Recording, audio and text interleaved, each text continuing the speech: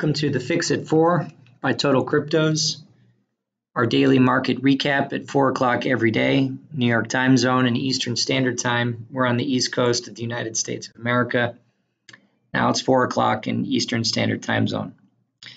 Today we're going to talk about the fix and a couple of reasons why the fix is important and the components of the fix and how it's different than, for example, the gold fix or the bond fix or the Forex fix or any other fix what is the fix? So if you go to totalcryptos.com front slash fix, you're going to see this page that we're looking at now. Now, it's going to tell you when the next fix is going to be. So this is just one number every day. Every day, this number here is going to be the daily price of Bitcoin. And we price it in these major currencies, which are US dollar, Swiss franc, Japanese yen, Swedish kroner, Canadian dollar, Norwegian krone, euro, Australian dollar, New Zealand dollar, and Great British pound. Now, we also publish the fix for XRP, BCH, Bitcoin Cash, EOS, XLM, ETH, LTC, and ADA. Now, if you want your own token to be listed as part of the fix, or in other words, if you want us to fix your token, you can sign up for our ZData service and we can fix any token that trades on an exchange. That is the one rule it has to trade on an exchange because otherwise it wouldn't be possible to fix it. So we're going to go to the main page of Total Cryptos and we're going to just click on Bitcoin. So if we click on Bitcoin, we're going to see something here called markets. So we actually show the data coming from the different sources that we collect.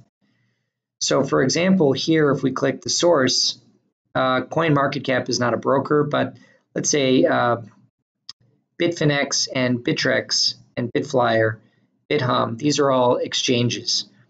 So for example, the yen price of, on Bitflyer of Bitcoin is 710011. But on Bitfinex, the yen price is 709,640. Now, that doesn't seem like a big difference, but it's different. So if we compare it to, let's say, the stock market, you wouldn't have a price which is even a penny off on IBM or Apple or any stock which is liquid because everything is traded on an exchange. So cryptocurrency is decentralized, meaning it trades at different exchanges so the prices are a little off. So the problem with that is if you derive something from a price which is a little bit off, then it throws off all your calculations. Like if you've ever built a house, if you're an inch off in the foundation, you can be a foot or more off on the roof. Any builder will tell you that. Not sure what a better example is, but finance is all about numbers and it's precise. So if there's a difference between the price of gold, let's say in London and New York, which is a dollar, times a million, as a trader, as an arbiter, I can make a million dollars or 10 million with leverage based on that price discrepancy. Or, for example, if I'm paying taxes, that $1, that $2 may mean a difference of several million in tax savings.